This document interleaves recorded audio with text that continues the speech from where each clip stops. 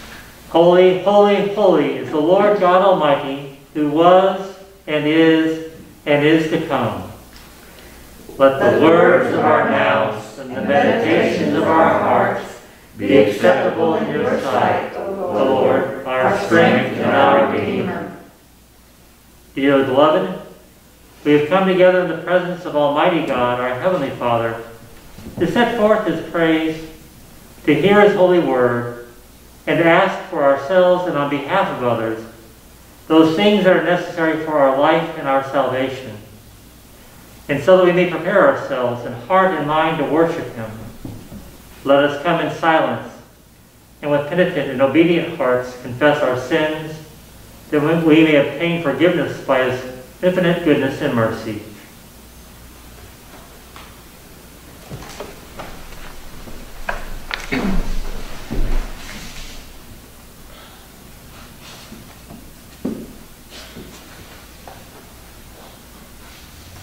Most merciful God, we confess that we have sinned against you in thought, word, and deed, by what we have done and by what we have left undone.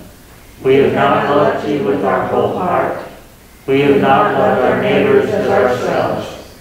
We are truly sorry, and we humbly repent. For the sake of your Son, Jesus Christ, have mercy on us and forgive us that we may delight in your will and walk in your ways, to the glory of your name. Amen. Almighty God, have mercy on you, forgive you all your sins through our Lord Jesus Christ. Strengthen us in all goodness, and by the power of the Holy Spirit, keep us in eternal life. Amen. Amen. Lord, open our lips, And and our mouths to proclaim your praise. Glory to the Father, and to the Son, and to the Holy Spirit, as it was in the beginning, is now, and will be forever. Amen. Hallelujah.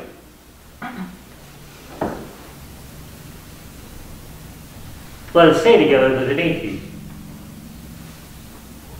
Come, let us sing to the Lord. Let us shout for joy to the rock of our salvation. Let us come before his presence with thanksgiving and raise a loud shout to him songs. For the Lord is a great God and a great King above all gods. In his hand are the caverns of the earth, and the heights of the hills are his own. The sea is his, for he made it, and his hands have molded the dry land. Come, let us bow down and bend the knee, and kneel before the Lord our Maker. For he is our God, and we are the people of his pasture, and the sheep of his hand. Oh, that today you would hearken to his voice.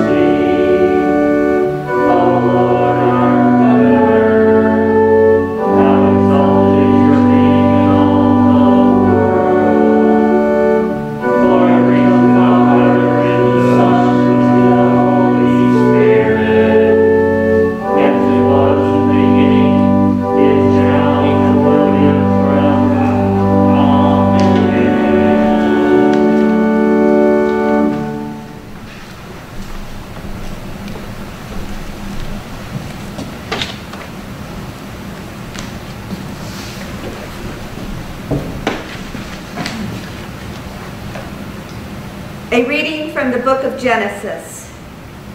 In the beginning, when God created the heavens and the earth, the earth was a formless void, and darkness covered the face of the deep, while a wind from God swept over the face of the waters. Then God said, Let there be light, and there was light. And God saw that the light was good, and God separated the light from the darkness. God called the light day, and the darkness he called night.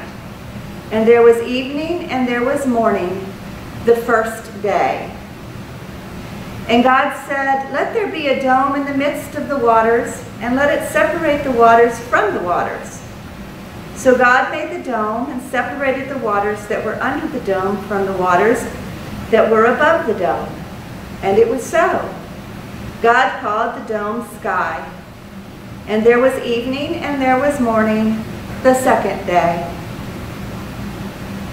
And God said, Let the waters under the sky be gathered together into one place, and let the dry land appear. And it was so. God called the dry land earth, and the waters that were gathered together he called seas. And God saw that it was good. Then God said, Let the earth put forth vegetation, plants yielding seed, and fruit trees of every kind on earth that bear fruit with the seed in it. And it was so. The earth brought forth vegetation, plants yielding seed of every kind, and trees of every kind bearing fruit with the seed in it. And God saw that it was good. And there was evening and there was morning, the third day. And then God said, Let there be lights in the dome of the sky to separate the day from the night, and let them be for signs and for seasons and for days and years. And let them be lights in the dome of the sky to give light upon the earth. And it was so. God made the two great lights, the greater light to rule the day, and the lesser light to rule the night, and the stars. God set them in the dome of the sky to give light upon the earth, to rule over the day and over the night, and to separate the light from the darkness. And God saw that it was good. And there was evening and there was morning, the fourth day. And God said, Let the waters bring forth swarms of living creatures, and let birds fly above the earth across the dome of the sky. So God created the great sea monsters and every living creature that moves, of every kind, with which the waters swarm, and every winged bird of every kind. And God saw that it was good. God blessed them, saying, Be fruitful and multiply, and fill the waters in the seas, and let birds multiply on the earth. And then there was evening, and then there was morning, the fifth day. And God said, Let the earth bring forth living creatures of every kind, cattle and creeping things and wild animals of the earth of every kind. And it was so. God made the wild animals of the earth of every kind, and the cattle of every kind, and everything that creeps upon the ground of every kind. And God saw that it was good. Then God said, Let us make humankind in our image according to our likeness. And let them have dominion over the fish of the sea, and over the birds of the air, and over the cattle, and over all the wild animals of the earth, and over every creeping thing that creeps upon the earth. So God created humankind in his image. In the image of God he created them. Male and female he created them. God blessed them and God said to them, Be fruitful and multiply, and fill the earth and subdue it, and have dominion over the fish of the sea, and over the birds of the air, and over every living thing that moves upon the earth. God said, See, I have given you every plant yielding seed that is upon the face of all the earth, and every tree with seed in its fruit. You shall have them for food and to every beast of the earth, and to every bird of the air, and to everything that creeps on the earth, everything that has the breath of life. I have given every green plant for food, And it was so. God saw everything that he had made, and indeed, it was very good. And there was evening, and there was morning, the sixth day. Thus the heavens and the earth were finished, and all their multitude. And on the seventh day God finished the work that he had done, and he rested on the seventh day from all the work that he had done. So God blessed the seventh day and hallowed it, because on it God rested from all the work that he had done in creation. These are the generations of the heavens and the earth when they were created. The word of the Lord. Thanks be to To God.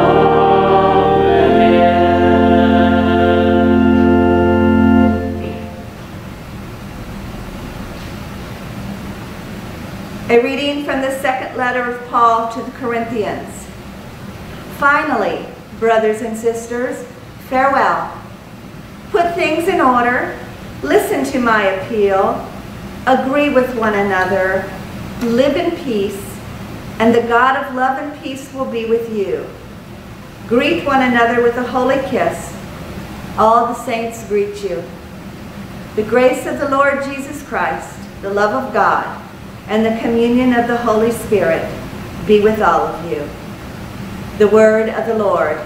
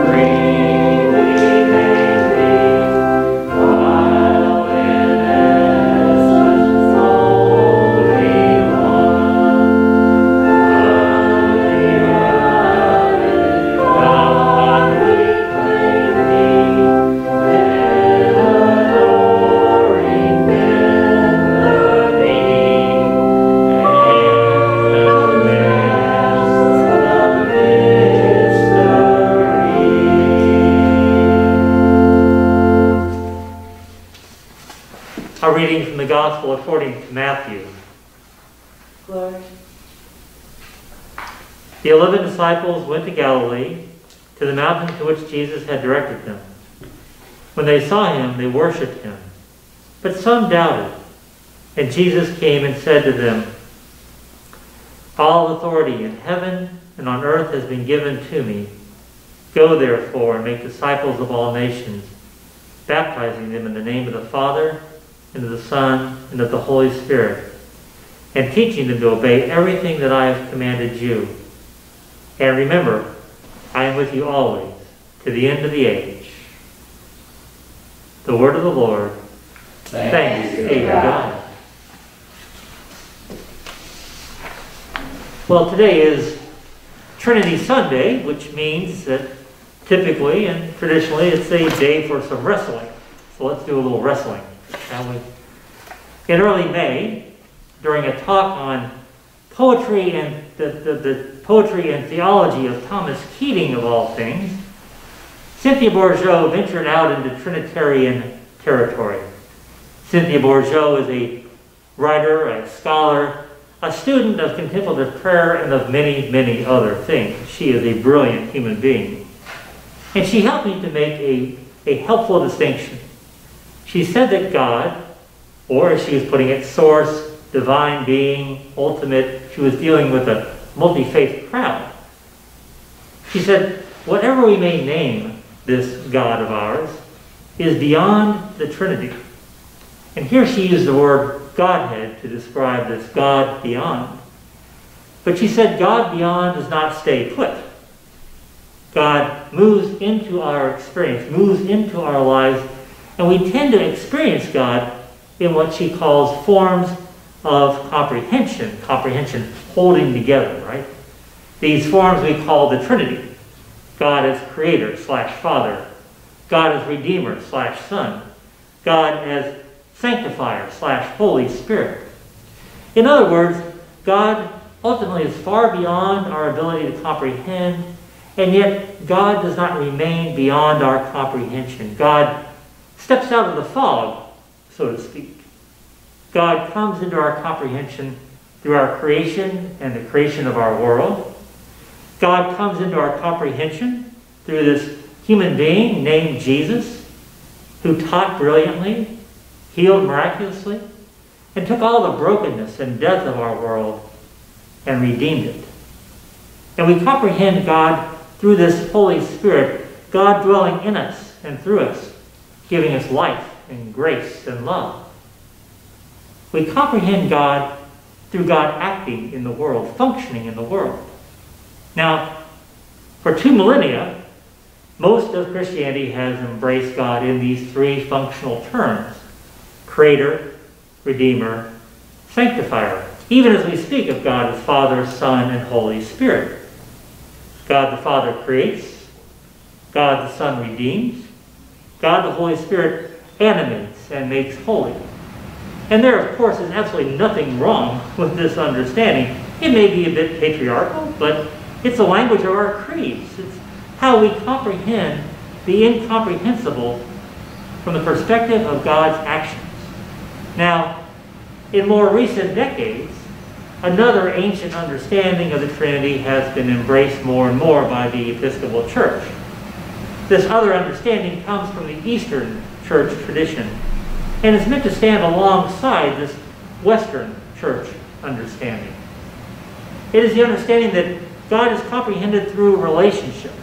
Indeed, this is the Father-Son understanding that Jesus emphasized quite emphatically, especially in John's Gospel. The Father is the source of love in this understanding. The Son is the recipient of love, the pouring out of love, the beloved, as Jesus is entitled at his baptism. And the Holy Spirit is a love that flows between them both. And because the Son is always constantly returning the love to the Father, to the source of love, this is dynamic and flowing understanding of God. Indeed, the masculine titles tend to fall away, if you like. So the Trinity is a source of love, the beloved, and the love flowing back and forth between them and flowing out into all of creation. It's part of this understanding. It's a love that cannot be contained. It's a power that cannot be contained. In the Eastern tradition, they describe this as the divine dance of God. The divine dance. And this, so this also is how we comprehend the incomprehensible. God is the source of love. God is the recipient of love, our love. And God is love. God is relationship. God is dynamic. God is active. God is dance. God is relationship. God is dynamic, love, love in action. God is love in action, creating, redeeming, sanctifying, healing. Healing.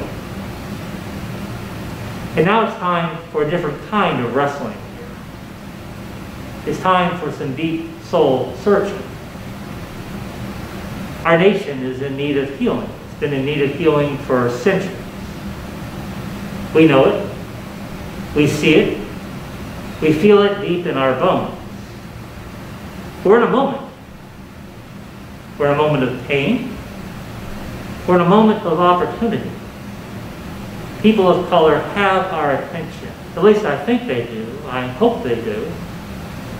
They want me and all of white America to strive to comprehend something that has been beyond our own experience, perhaps even our own awareness, and therefore beyond our own comprehension. And now much is emerging from the fog. I've been trying to listen this week. I've been trying to read, listen. And here's what I've been hearing asked of me. I don't know about others, but this is what I've been hearing asked of me. First, black Americans are looking for allies to combat racism. They don't want or need me riding in on a white horse to try to save the day. They don't want or need me to try to fix it. That's what I want to do. I want to fix things, right? But race and racism is about power and power differentials. They want to know that I am and will be willing, as a person of power, to share that power and empower the powerless when that time might come. That's one of the things I've been hearing. I've heard Americans of color say they want me to treat them as equals in every respect. They want me to make no distinction between them and anyone else. Love them just as I would love any other human being. Now, I might well think to myself, well, I've been doing a pretty good job of that, if I do say so myself.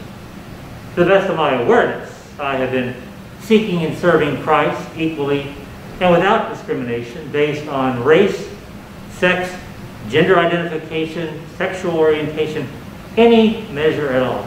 In fact, I do think that we as a church, Church the Redeemer here, do a very good job of welcoming any and every person and really trying to treat every human being as God's beloved child. I say this with absolute sincerity. You are an amazing community of welcoming and giving hearts. Now the truth of the matter, though, is that for me, for most of my life, I've left it right there. I'm loving, I make no distinctions, I'm not a racist.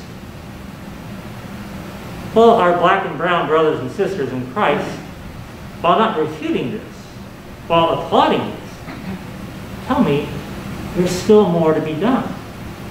They're asking me to consider my whiteness and the ramifications for me as a white male in this land.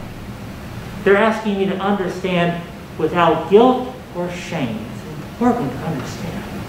Without guilt or shame, that life is radically different for people of color in this nation. They want me to become awakened to these differences. They're asking me to become educated. The structures and systems of racism that are still in place in this country. You see, you and I can love and respect every black and brown man, woman, and child just as, as we would any other white person. We can treat them as equals in every way. And that would do nothing to change the generational effects of redlining, for example, Redlining is? Redlining dates back to the 1920s when banks and lending institutions would assign colors to neighborhoods based on whether those neighborhoods were considered a good, a moderate, or poor risk for a house loan. The neighborhoods considered the worst risk were consigned to the color red. In theory, the red line was drawn around neighborhoods with high unemployment, poor credit history, high rates of poverty. In practice, the red line was drawn around black neighborhoods, regardless of credit history, employment, income, etc. Now, if you're black, it meant a red line was drawn around you, your house, your neighborhood. This meant you were unable to get a loan to purchase a house. White individuals would get the loans, buy the house, and then rent the homes to black and brown families. So what, we might think? Well, they got a roof over their heads. Well, home ownership is a major source of generational wealth. When Jennifer and I die, Emily and Sam will inherit the home and the equity in it. They can grow that wealth then, pass that on to their children, and so it goes. Those red line neighborhoods to this day remain 80, 90% rental property. No opportunity for generational wealth. The same is true for, for education. Property taxes are lower. Schools get less money. Schools are not able to compete as well. One example, redlining, of generational and systemic inequity is kind of baked into our country. Finally, black Americans, by and large, do not want white Americans to be guilt-ridden or fear-riddled. It doesn't do anybody any good. They want me to become awake, aware, and ready to help get rid of the structures that have oppressed the population for centuries and centuries. When we become educated about the systems of racism in play, we can see how we may still unknowingly participate and contribute to these systems. We can then become allies, true allies. Now, in response to this moment of pain and opportunity in our country, we at Redeemer are engaging in an eight-session study on systemic racism in this country, beginning on Thursday. I'll mention more during the time of the announcements here. We're going to use a curriculum that's called Faith and Racial Equity. The goal entirely here is to become knowledgeable about the structures and systems of racism, to know about how we might willingly or unwillingly participate in that. And with this knowledge, we can then better serve Greensboro and our community through outreach ministries and through what I hope will be growing conversations. Who knows what may come of this? Who knows what God has in store for us? Now, privilege is a necessary part of that conversation. It has to be for me to become aware of the daily challenges of having skin darker than my own. It's hard work. It's supposed to be. It's the work that God has given us to do. Here we overlay, kind of like an overhead projector, we overlay all that I was saying earlier about the Trinity and our Trinitarian God. God emerges into our comprehension as love in dynamic activity. The Spirit of God alive in you and me cannot be complacent. It's not possible for God to be complacent in the face of injustice. And we cannot be whole when so many millions of our brothers and sisters are unable to breathe, unable to live fully, unable to thrive. Here is our work. To become the hands and hearts of God our God who creates, our God who redeems, our God who sanctifies, our God who heals. Ours is the work of the divine dance of love.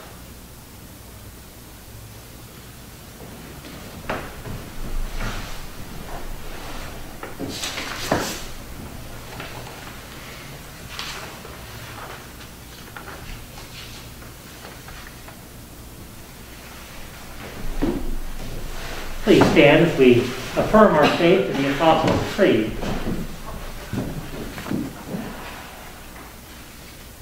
I believe in God, the Father Almighty, creator of heaven and earth. I believe in Jesus Christ, his only Son, our Lord. He was conceived by the power of the Holy Spirit and born of the Virgin Mary. He suffered under Pontius Pilate, was crucified, died, and was buried. He descended to the dead. On the third day he rose again. He ascended into heaven and seated at the right hand of the Father. He will come again to judge the living and the dead. I believe in the Holy Spirit, the Holy Catholic Church, the communion of saints, the forgiveness of sins, the resurrection of the body, and the life everlasting. Amen. Amen. Just a very brief moment here for some, a few announcements. You can be seated if you'd like, folks here or at home. It's great to be with you. It's great to be in this space again. I am so excited. Um, I don't know how much you're able to see on this camera here, but everything looks just fantastic. The, the pews, the, the, the re, Phil let me know, it's not refinishing, they've been refurbished. So the refurbishing of the pews is fantastic. And we are so grateful to Bill for all that work. We are so grateful to John Fox for his ongoing work and his ongoing presence in all of this uh, renovation work. We're almost done here. We, the, the altar's not here yet because we've got a little more work to be done on the carpeting up in this area. And then we're going to largely be finished with the renovations on the inside here. We've got a little, a little electrical work, and then the ongoing work on the exterior. But it's been going very well. As far as I know, John, we were on time and we are at or under budget, and so you can't ask for more than that. but we are very grateful for all that God is doing in this renovation work here. But it's good to be with you all. And a couple of things just to kind of lift up out of our announcements. I do want to talk a little bit, um, very briefly, about that faith and racial equity um, sessions. What's going to happen on Thursday at 3 o'clock is, is a Zoom meeting. My encouragement is everybody show up for that, and we will talk about this. It's an informational session. It's kind of an exploration. I like to use it as a time to find a, regular meeting time that we can have set goals for us to have as a community coming out of this, what we would like to have come out of this conversation, out of this learning time together, and then go forward with that. It's eight sessions altogether. We can decide how we want to space that out. There are three books that are involved, so the additional cost is around $40 per person. If anybody needs any help with that, please let me know. I don't want the cost of the books to be a barrier to participation in this class. If you have any questions, if you're not able to make it on Thursday, but you'd like to participate, please let me know. Email me, call me if you want to talk about this. Please, just let's stay in conversation for sure. Uh, we've got a coffee hour that starts at 10.30 today, and you can zoom into that if you'd like to. We've got a Bible study that then starts at 11 o'clock, and we are going to uh, explore the, the Trinity today in, in, in our Bible study time together. One last thing to kind of lift up, we will have our, this our congregational check-in time. This is going to be coming up on this upcoming Thursday at 11 o'clock. And again, all are invited to that. The, the, Zoom information is in the bulletin. There's a lot of other good things. We've got the Duck Derby coming up in July here for the Boys and Girls Club. Lots of good information in the bulletin. I would commend that to you. And now we will continue on with our prayers. Bill, could I comment on the Boys and Girls Club? Yes, please the uh, church is known for reaching out and reaching in, and they have reached out so strong to our need at the Boys and Girls Club with the problem, financial problem they have. I asked to sell 20 tickets through the Redeemer outreach. We sold close to 80. Wow. Thank God. It's wonderful. Yes, thank yes, God. It really is. That's really reaching out. yes. And it's very necessary. Thank you. As I said, you, thank something you. we do with remarkable yes. ability for a church this small. Yes. yes. Thank you all. Let us continue with our prayers then. On page 9 of our service bulletin, the Lord be with you and also, and also with you. Let us pray. Our Father, who art in heaven, hallowed be thy name. Thy kingdom come, thy will be done on earth as it is in heaven. Give us this day our daily bread, and forgive us our trespasses, as we forgive those who trespass against us. And lead us not into temptation, but deliver us from evil. For thine is the kingdom, and the power, and the glory, forever and ever. Amen. Show us your mercy, O Lord, And grant us your salvation. Clothe your ministers with righteousness. Let your people sing with joy. Give peace, O Lord, in all the world. For only in you can we live safely. Lord, keep this nation under your care. Guide us in the way of justice and truth. Let your way be known upon earth. Your saving health among all nations. Let not the needy, O Lord, be forgotten, nor the hope of the poor be taken away. Create in us clean hearts, O God, And sustain us with your Holy Spirit.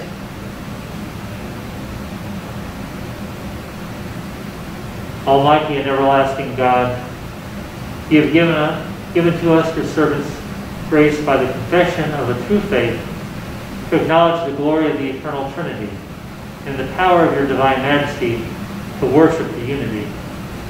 Keep us steadfast in this faith and worship and bring us at last to see you in your one and eternal glory. O Father, who is the Son and the Holy Spirit live and reign, one God, forever and ever. Amen. O God, you make us glad with the weekly remembrance of, this, of the glorious resurrection of your Son, our Lord. Give us this day such blessing through our worship of you, that the week to come may be spent in your favor. Through Jesus Christ our Lord. Amen. Lord God, Almighty and everlasting Father, you have brought us in safety to this new day. Preserve us with your mighty power, that we may not fall into sin, nor be overcome by adversity, and in all that we do, direct us to the fulfilling of your purpose. Through Jesus Christ our Lord. Amen. Together. O God, you made us in your own image and redeemed us through Jesus your Son. Look with compassion on the whole human family. Take away the arrogance and hatred which infect our hearts. Break down the walls that separate us. Unite us in bonds of love. And work through our struggle and confusion to accomplish your purposes on earth. That in your good time, all nations and races may serve you in harmony around your heavenly throne. Through Jesus Christ our Lord. Amen.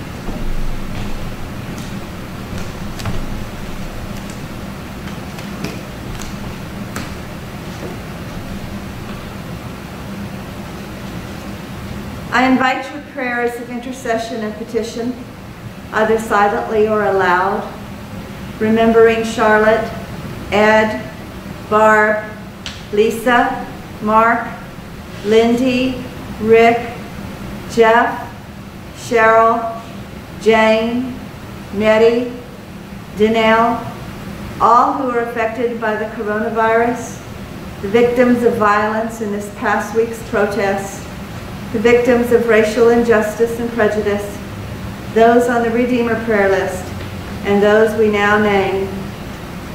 Lyndall.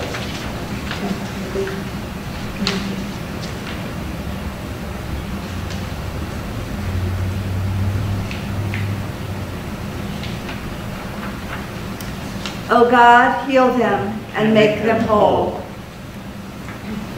I invite your prayers for the departed, remembering especially Ruby Henshaw, cousin of Elaine Hall, Keith David, brother of a very good friend of Father Bill's, the 400 plus thousand who have died worldwide from COVID-19,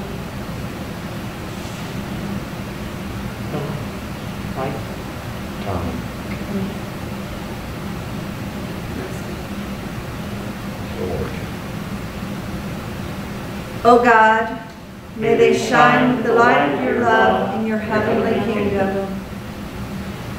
I invite your prayers of thanksgiving for all the blessings of this life, remembering those who are celebrating the anniversary of their birth this week, especially Karen Fleece, Jenny Moore, and Christy Harris, and those celebrating the anniversary of their marriage.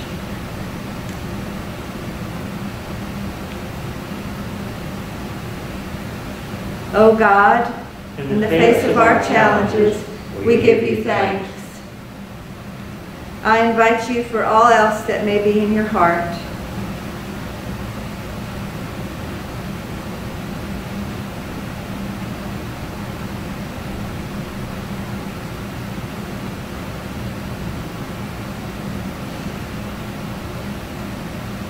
Almighty God, You have you given have given us grace at this time with one accord to make our common supplication to you, and you have promised through your well-beloved Son that that when two or three are gathered together in his name, you will be in the midst of them.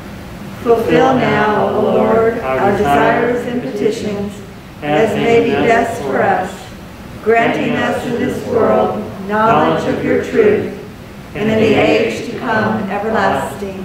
Amen.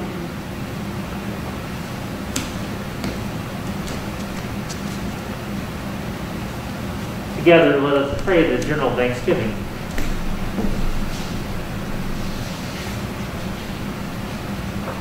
Almighty God, Father of all mercies, we, your unworthy servants, give you humble thanks for all your goodness and loving kindness to us and to all whom you have made. We bless you for our creation, preservation, and all the blessings of this life but above all for your immeasurable love in the redemption of the world by our Lord Jesus Christ, for the means of grace, for the hope of glory. And we pray, give us such an awareness of your mercies, that with truly thankful hearts, we may show forth your praise, not only with our lips, but in our lives, by giving up ourselves to your service, and by walking before you in holiness and righteousness all our days. Through Jesus Christ our Lord, to whom with you and the Holy Spirit be honor and glory for all ages. Amen.